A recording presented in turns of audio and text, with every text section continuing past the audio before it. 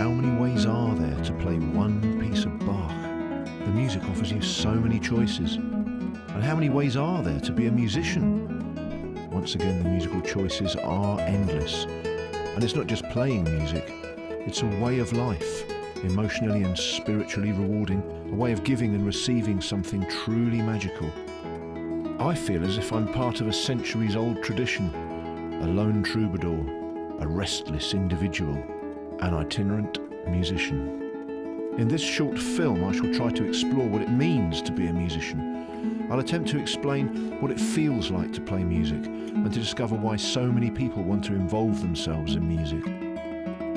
In search of some answers, I'll be going on a journey along the South Downs Way from my hometown of Shoreham by Sea to the city of Chichester, where, at the end of my long walk, I'll play the music of J.S. Bach in the inspirational acoustic of Chichester Cathedral. I decided to be a musician when I was very small indeed. I used to go upstairs to my dad's bedroom and I used to get the guitar out from under his bed and try and work out how to undo the case. And if I got that far, I'd then try and strum some chords. We're just coming up out of the uh, Adur River Valley. That's my home valley, my home river. And we're heading for Chanctonbury. Now, Chanctonbury is a very mysterious place. There's all sorts of tales of UFO sightings and devil worship. And there was even a team of scientists up here one night keeping watch for strange events. And the story goes that they lost the use of their limbs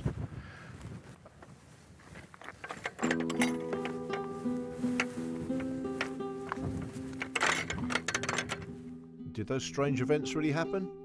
Well, we'd all say probably not, but then we've got this collective modern urge to rationalise everything. Perhaps music is one of the few remaining areas of our lives where we give ourselves permission to submit to the irrational, to more magical forces.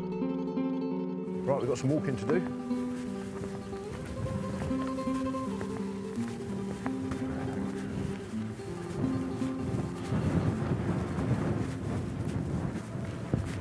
Greetings. Of course, up on the downs now, you can you can whiz along on your mountain bike, listening to I don't know, take your pick from 10 centuries of music, every continent of the world, plugged into your crash helmet. How wonderful. There are lots of famous examples of guitarists and lutenists, which I suppose is a related thing, isn't it? Earning their living, travelling about. Fernando Sor and Giuliani, they travelled around Europe. They had rich patrons who they wrote music for. And of course, going back before then, there was the great John Dowland, the Elizabethan composer, one of the greatest English composers that ever lived. He was a humble lute strummer, and he was very, very good at wrestling money out of rich folk. Lady Hunsdon, for whom he composed My Lady Hunsdon's Toy Pouffet.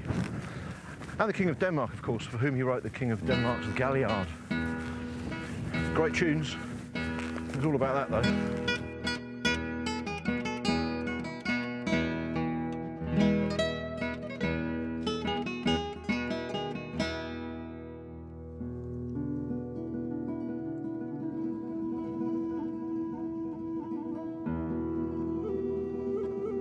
Up on the downs, I get this tremendous sense of belonging. It's a sense of history, the landscape is littered with burial mounds, and sometimes I feel frustrated that I can't find their doors and look inside the hills. But when I play music, it's as if, well, I can. I first met Piers Adams about 20 years ago now. We're good friends ever since, and here he is on top of Chanctonbury Ring. My good friend Piers, how you doing? Hi, good. How are you? Fantastic. I'm on a I'm on a sabbatical. Uh-huh. I'm trying I'm trying to fathom out why on earth I still do music after all these years. It's a very interesting question. What have you decided? Uh, well, I don't know yet. Um, what's a job? It's a job for you as well. Yeah, absolutely. And you're very successful at it. You go all over the world. Mm -hmm. um, is there more to it than that?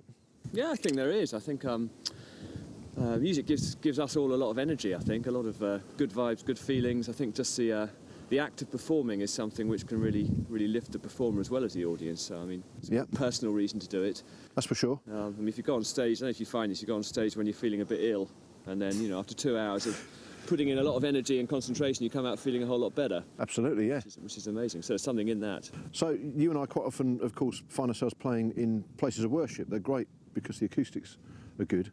Playing in churches and cathedrals. Does that affect the way that you play? Do you think beyond the acoustic? I mean, I think the great thing about churches is they're often placed in very powerful places in the landscape, and I think, you know, certain places you can really feel that power and then begin to use it when you perform. Yes. Yeah, they're designed to make contact with something or other, aren't they? Yeah, exactly. As, as is that instrument you're wielding there. So should we, should we play a tune? A fine idea.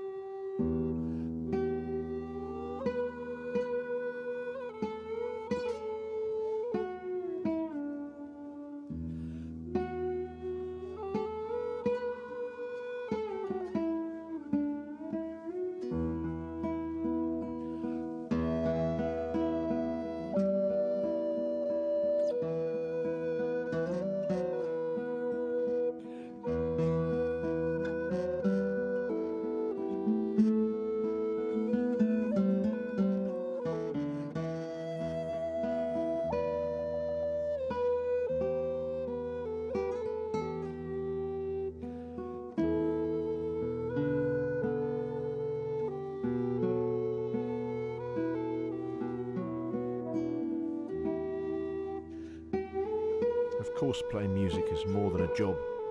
Piers knows that. It's something you just can't leave alone.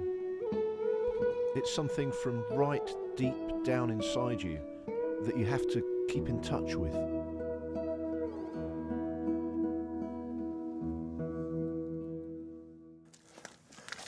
Would I call myself a religious person? I don't know. I'm a musician. Many musicians would say that it is like having a, religion. I mean, why else would you do it? You see famous musicians driving around in battered old cars earning less than a window cleaner would, and they still do it. It's a tough life, but it is a spiritual life. Some people say that you should teach music as you would teach a religion. I'm not really sure what they mean by that. I mean, you can teach, you can teach the nuts and bolts of music, the Pythagorean scale and the laws of harmony and counterpoint and bar lines and key signatures and all that stuff. But really, there's uncertainty after that. What is it that music enables you to reach? What does it put you in touch with? Now, Schopenhauer, the great 19th century philosopher, talks very specifically about music um, as being set apart from any other art form. He says that, that when you listen to or play music, you're actually making contact with a kind of great universality. But again, there's nothing specific about it. There's nothing definite in the way that a religious doctrine offers you definite answers. Ficino, the Renaissance thinker, now what did he say? He, he talked about the cosmos and that music enables you to participate in some kind of cosmic process. What does that mean? What does that mean exactly?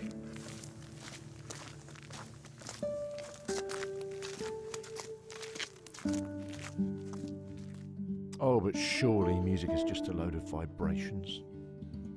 It's only those dissonances in the harmonic series that make minor chords sound sad, nothing else.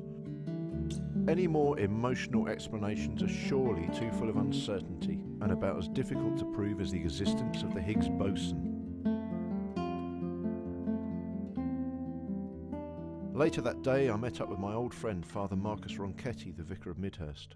I was really curious what a priest would want to add to all of this.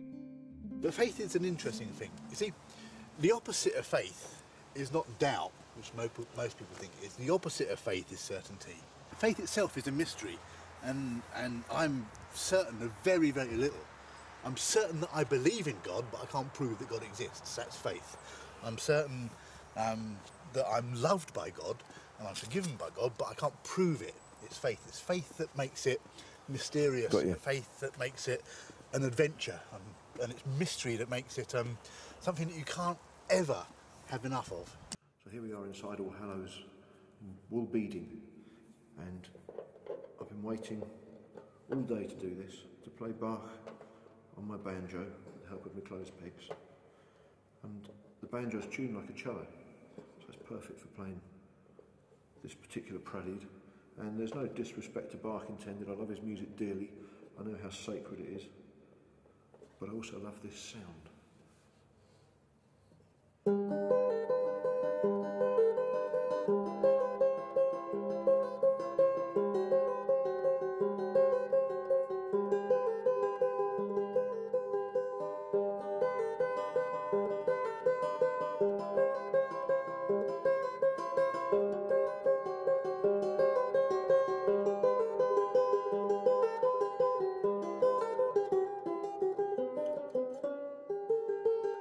Sitting playing Bach in Marcus's church gave me time to think about what he'd said.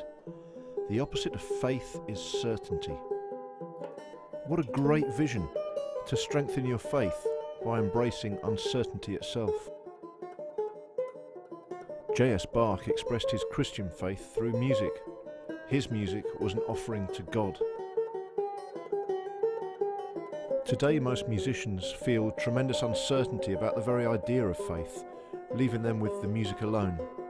But for me, their music still feels connected to Schopenhauer's idea of the thing itself.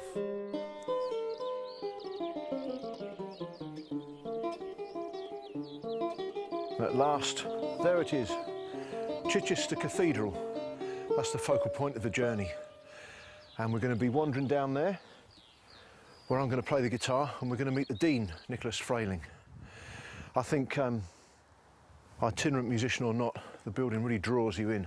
Let's go.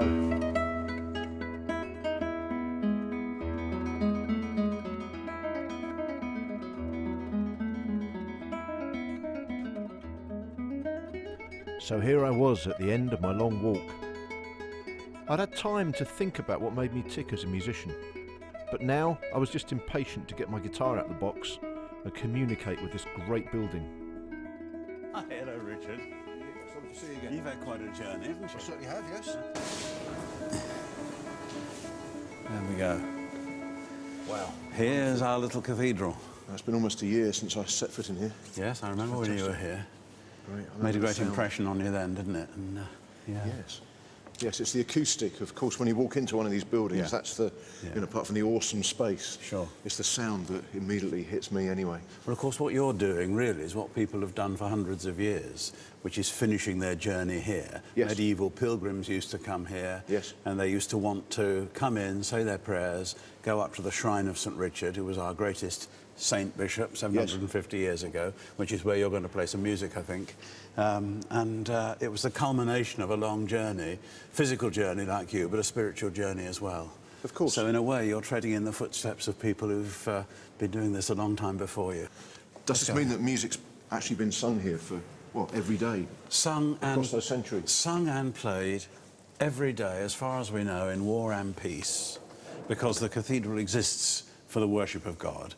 And worship without music is really, really poor. You know, it's impoverished. It's not the same at all. You know that as a musician. And when you put together music for the glory of God in a building which is made for the glory of God, Yes. then all sorts of unimaginable things begin to happen. You know, our feeling is that a cathedral like this without music is like a horse without a Well, carriage. it must, it must reinforce the, the process of worship. A service, for example, like choral evensong, half past five every day, basically one priest and the choir perform that. It hmm. is a performance, but it's a performance for the glory of God. But it's And an oasis for the people that, very much so. congregation, isn't And it? the people who come, you know, let it sort of wash over them. If I've had a, a to be blunt, a hell of a day, and I come in here, there's something very healing about that offering of worship. And that is because of the music. Yeah. It's, it's, it is, in a way, a kind of high, highway to heaven. Um, it was Donald Tovey, who was a great um, uh, um, musicologist, Yeah. who described a particular piece of Bach as a highway to heaven.